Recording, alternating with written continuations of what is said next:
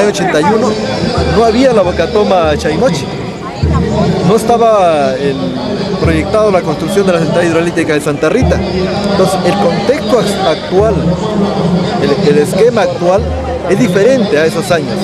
Entonces, ya tenemos un estudio de alrededor de 28 años de antigüedad de hecho, pues este, las condiciones actuales son diferentes a las del año 1981 que se realizaron los estudios.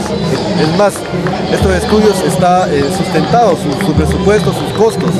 El, el año 81, cuando se realizaron los estudios, el gobierno del Estado, el gobierno peruano, eh, pagó 1.200.000 dólares para hacer los estudios. 1.200.000 dólares, que estamos hablando de casi 4 millones de soles. Entonces, no, estos estudios cuestan así esa magnitud. Señor Rubio, la alcaldesa este, formó un comité consultivo. Eh, eh, hoy día estaría renunciando el señor Tirapo de la, Cámara de Comercio al comité consultivo. ¿Cuál es su opinión al respecto? ¿Quiere renunciar el gerente de Tirapo? Sí. Bueno, el comité consultivo se, formó eh, con la finalidad de brindar apoyo de brindar apoyo logístico, el apoyo que necesita el proyecto para consolidarse.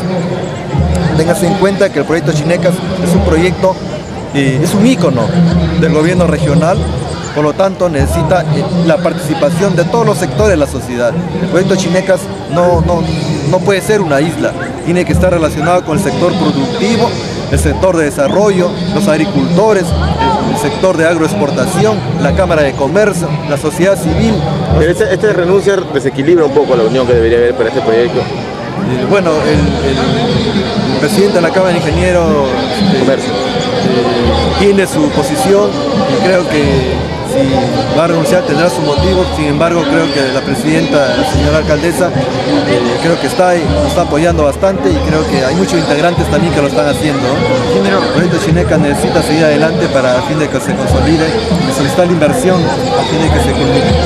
El perfil que se está haciendo es, un perfil que se le llama un perfil pesado. Un perfil pesado significa un perfil casi a un nivel de prefactibilidad.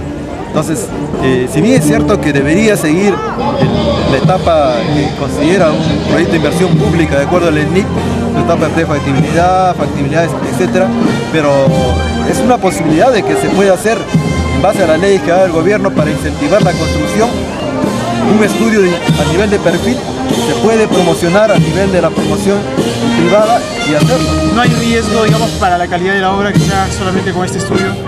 Eh, el perfil va, a ser muy importante la ejecución. La empresa de, ingeniería, la empresa de privada, va a tener que realizar el expediente técnico. El expediente tiene que ser revisado también